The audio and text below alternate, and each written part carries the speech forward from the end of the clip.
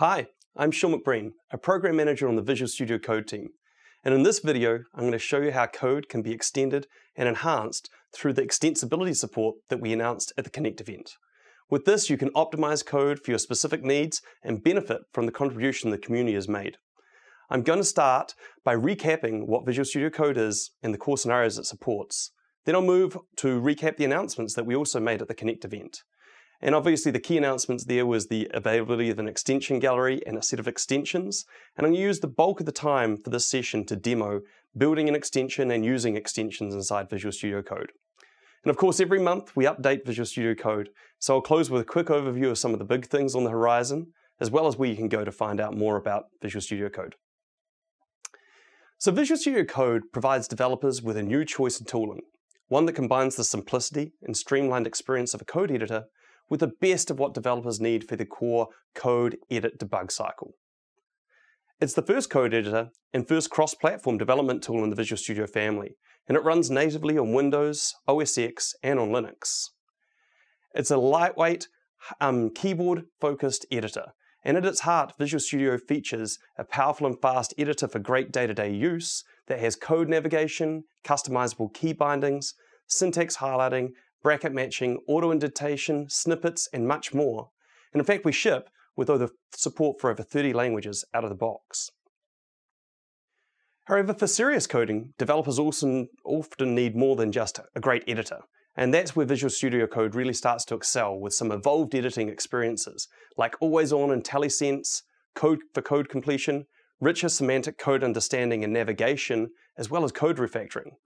And we have great out-of-the-box support for ASP.NET 5 development with C Sharp and also Node.js development with TypeScript or JavaScript. And all this is powered by the same underlying and mature technologies that drive Visual Studio.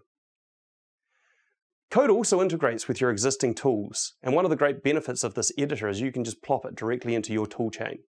You can run the builds that you want, you can execute tests, and just about any command line script from within the tool. Errors and warnings are a single click away, making your everyday workflow even faster and easier. Of course, you need to properly store your source code somewhere, and we have great integrated support for Git, whether you want to store it on GitHub, Visual Studio Online, or some other repository. Of course, developers don't spend all their time just writing code. They go back and forth between coding and debugging. Debugging is the most popular feature of Visual Studio, and the one feature from an IDE that many developers have missed from the code um, editing experience. So Visual Studio Code includes a streamlined integrated debugging experience, and you'll see that when I demo shortly. And finally, uh, when we first shipped our preview, we didn't have an extensible platform, and at Connect we added extensibility to Visual Studio Code. It lets you build and use plugins that other people have built, and it allows you to customize the edit, build, debug experience for your language and the way you want it to work. Okay, so let's talk about what we announced at the Connect event. You know, the first thing to note is we've had a lot of traction with Visual Studio Code, and we're happy to say that over a million of you have installed and, and used the product.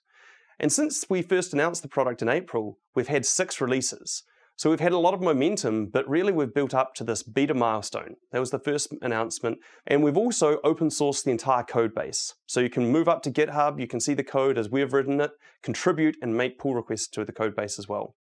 And then we added an extension SDK, a rich set of documentation, samples, and APIs that allow you to extend, customize, and enhance Visual Studio Code. And that's coupled with a gallery so that you as a user for Visual Studio Code can discover the extensions that everyone else has contributed. So let me switch to a demo and show you how that works. Okay, so here I am on my um, Mac desktop, and what I want to do is quickly open up Visual Studio Code, code full stop. Um, and that allows me to quickly open code. And here you can see um, it's, remember the file I had open last time, which is a very simple markdown file, and it's opened up our markdown preview. It's actually one of the features people really like inside Visual Studio Code is an easy way to live preview changes in, in markdown. Um, so Markdown is one of the markups that a lot of projects use, but there are other markup languages out there. And one of the examples is LaTeX. And out of the box, we don't have any language support for LaTeX. Even though Visual Studio Code ships with a lot of languages, we can never ship with all of them. And so the actual ex editing experience for something like LaTeX is very raw. Um, basically, there's no snippets, there's no support for um, anything like code completion, bracket highlighting. So it would be great if we could add that in. So what I'm going to show you is the gallery inside Visual Studio Code. I just hit F1, and and I type in ext for extensions, and I can ask to install extensions. And what's happening here is we're querying um, a service that uh, lists extensions, and I can quickly type directly in there the sort of extension I'm looking for. And in this case, I want some support for the LaTeX language. Um, Visual Studio Code actually includes a whole lot of different extension points, and one of the things people really like are things like themes as well. So I'm going to install the theme as well as this LaTeX extension. You can see they both come down and installed. Hit restart and refresh the shell, and boom, straight away I have a much, much richer experience for editing um, my LaTeX file. You know, from here, I have snippets now. You can see the snippet collection, and I have code colorization, bracket matching, and, and more.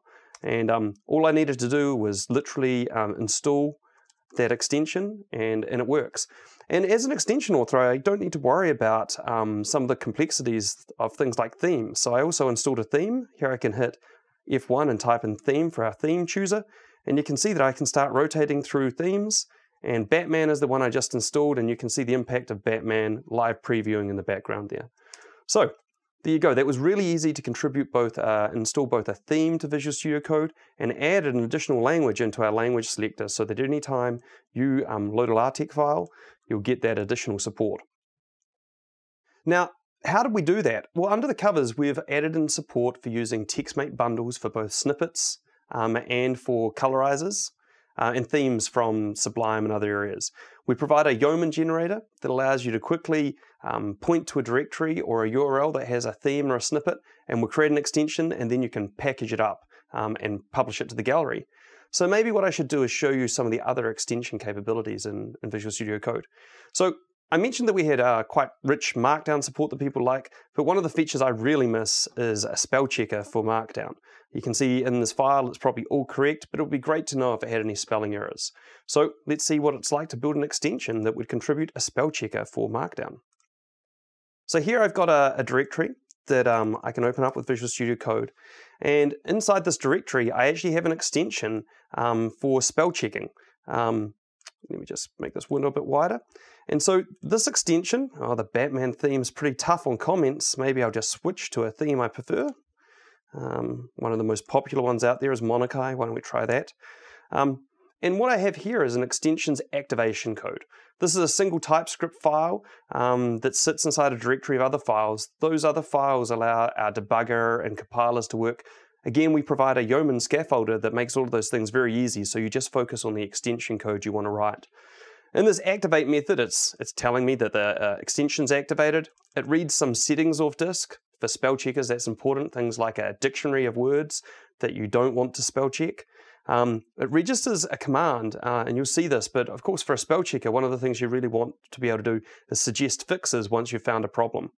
Um, and then, of course, we, we tie into a couple of events. So, did changing changing a text document, we want to fire a, a, an event that creates diagnostics, um, and also when you open a new text document. So, let's show you some of the features just of the raw editor and, and how we can quickly peek to the definition of something like create diagnostics I can navigate there as well. Uh, one of the things I see here is this convert severities function. I can navigate there as well. So it's easy to quickly navigate in through code or, or peek in line where you are. And here I'm, I'm seeing some errors in my code. Um, this info has a rig squiggly. It's saying that property info isn't defined. Uh, so what I, I know is we actually just changed this to be the full word information.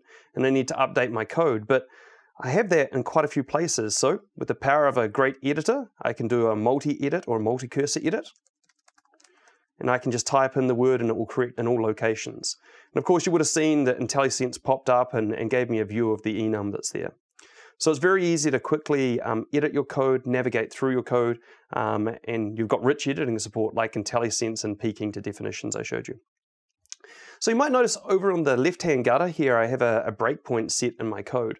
And what I want to do is this extension is just like any other um, JavaScript file inside Visual Studio Code, and I want to um, run it. And let's see what our extension development experience is like. So I'm just going to hit F5. Um, and what that does is it fires up a second instance of Visual Studio Code.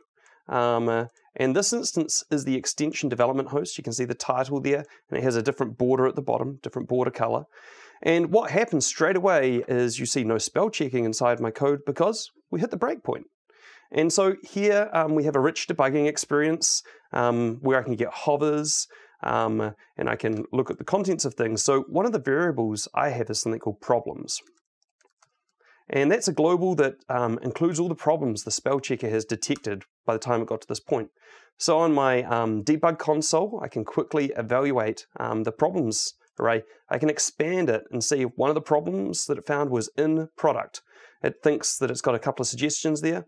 In space product um, is a better way to do that, and it's a spelling error. And there's other types of errors here as well. Um, this is a complex expression, operational, um, and it suggests that we replace that with working. Okay, so let's drop this breakpoint and let's just play uh, the extension and I'll drop back into the, the running extension and there you go, you see straight away that the errors have been detected inside my code and you see a hover here um, that says that in product uh, is a better one and I can even invoke that suggest command that we um, saw earlier and do basically an alt full stop um, and in product is the suggestion there hit enter and it'll replace that. Gallery, another error. I can once again replace that. Um, and down here, operational, uh, fully armed and operational. That's probably better than um, working, so I'll leave it as it stands. But you can see that we were able to actually add directly in a spell checker to, to Visual Studio Code, and, and we have a development experience that's very rich. You can easily debug, navigate through the code, and run it just from directly within Visual Studio Code. Okay, so Let's um, now see what it would take to publish this extension so that others can use it. So I'm going to close this window and here we have a command line tool for publishing extensions so that we can add this into the gallery. So vsce publish is the command that we're going to run. And once I type that in, it's starting to publish script, packaging up the extension, and it's sending it up um, into the gallery. So now next time I, I run um, code directly in this folder, now remembering I'm in a markdown file, in this case the readme file for the actual extension itself, no errors have been detected. Um, but what I can do is I can F1 to the extension gallery, uh, extension install, and I can type in spell, and you'll see the spelling and grammar checker that I just literally published right now is available. And uh, I hit download, and that will come down from the web gallery. Um, my editor will ask me to reactivate, and straight away in a couple of seconds, you'll start seeing errors showing up. Markdown suggests backdown. I probably need to add that into the dictionary. Okay, so that gives you a really quick feel for creating and editing an extension, running it and debugging it, as well as publishing it to the gallery. And it was a pretty simple extension, but you'll notice that if you look at the code for that extension, there was no need for me to work out how to render the hover effect um, that you see here, or there's gutter indicators for the errors as they're detected, or I can directly navigate through um, all the intrinsic UI elements of Visual Studio Code. So as an extension developer, I don't need to take a, um, don't need to develop any of those paradigms. And as a user for Visual Studio Code, Visual Studio Code just continues to work the way I expect it to work. I didn't have to learn new ways to work with this extension. So okay, that's uh, a simple extension for spell checking. Let's look at something a, a little bit more complete for Visual Studio Code. Okay, so one of the programming languages that's popular out there today is Go from Google. And we ship with almost no support for Go um, within Visual Studio Code. So what I have here is a, is a Go application, um, but the experience is not very rich. I don't get anything like hovers, I can't peek or navigate, I don't get anything like any IntelliSense. Um, it really is a very, very limited experience here. Um, we do have colorization, but that's about it. So let's see what it will look like if I extend Visual Studio Code with support for Go. So I'm going to go extension, install extensions, and type in Go. And what I'll do is I'm going to install that extension now, um, and let's see what that does for Visual Studio Code. Okay, so Go has come down from the gallery, and with a quick restart, let's see what um, additional features I get for the Go programming language in Visual Studio Code. So I'm going to hit restart. Uh, the window refreshes. And actually, one of the first things you'll notice is slightly improved colorization. Um, this extension includes a new TextMate bundle that improves the colorization for Go. And now when I hover over things like um, these view event handler, edit event handlers, you can see that I get a hover event. And I can even do things like peek into the definition of those events. So all of this was just added straight in as features um, from this extension. Another thing I can do is um, I get um, IntelliSense now. So valid path dot find, and there's a lot of these fine string submatch is what I want in this case. So my, um, my editing experience is getting richer straight away. And here I can start typing in um, what I want as the command. But you'll see I'm also getting linting support. There's an error here, it expects a string. Well, this is where IntelliSense and that linting comes together. I can see that there's a, there's a path um, version that converts straight to a string. And that error will now disappear.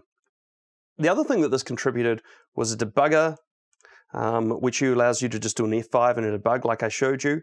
Even things like an outline support for the whole code base, so it's easy to navigate across the code base. F1 and at, and now I can really just transcend across all of that code. So really a much, much richer experience for the Go programming language. Nothing that we shipped out of the box um, comes close to this. And already inside our gallery, we have support for many other programming languages that'll give you a much richer experience inside Visual Studio Code. Okay, so as a quick recap, what I've shown you is that, you know, we can add different languages through standard language formats and colorizers, things like TextMate bundles directly into Visual Studio Code. Uh, I then showed you a quick extension, a spell checker um, to mark for Markdown, and that allows you to really quickly um, improve and enhance some of our core functionality. I pushed that straight up into the gallery so that everyone who has Visual Studio Code can now install that extension um, and get spell checking for their markdown. And finally, I showed you some richer extensibility where we have got an extension here for the Go programming language that really provides you with very evolved editing um, features inside Visual Studio Code, spanning from you know peek and code navigation, peek definition, find all references, of course to IntelliSense, and then accumulating with the debugging experience directly inside Visual Studio Code. Okay, so with that, let's switch back to the slides and see what's next for Visual Studio Code. Okay, so back from the demo, uh, hopefully you were able to see how easy it is to install an extension from the gallery, how easy it is to build your own extension, a basic extension like the spell checker I showed you for Markdown, or a very rich extension like the full language support for Go. So what's next for Visual Studio Code? Well, Obviously, extensions, extensions, extensions. Uh, in the gallery today, there's over 50 extensions, and there are going to be more and more every single day. Uh, we're really excited to see where the community takes it, and of course, we'll be contributing our own set of extensions as well to Visual Studio Code. The number one request outside of open sourcing the product and adding a plugin API to Visual Studio Code has been code folding. Uh, it's definitely the thing that we're working on now to improve uh, the code editing experience within Visual Studio Code. So look forward to seeing code folding, being able to collapse your code regions very soon. Obviously, ASP.NET 5 debugging, that was previewed at the Connect event, um, and we'll be adding that in as soon as that's released um, for you inside Visual Studio Code. And then we're building up to our 1.0 release, uh, where we're going to have a whole lot more to share with you. So, an exciting time for Visual Studio Code. So let me close by telling where you can go to find out more about the extension support in Visual Studio Code and Visual Studio Code in general. First off, we have our website, code.visualstudio.com. Uh, this is where you can find all the documentation that you need to use the product to extend the product. Um, and obviously, if you haven't downloaded it, that's where to go to download Visual Studio Code. We have our source code now up on GitHub, github.com, whack Microsoft, whack VS Code. And here you can see um, how we've built the product and hopefully contribute to the product by uh, filing issues and pull requests to us. And the other thing, you can always contact us, the product team, on our Twitter handle, at code. Uh, we try to be really responsive there, so feel free to direct message or tweet to us, and uh, we'll follow up with you and, and, see how we can help. So thank you. Um, it's a great time for Visual Studio Code, and we can't wait to see what everyone does with our new extensibility support.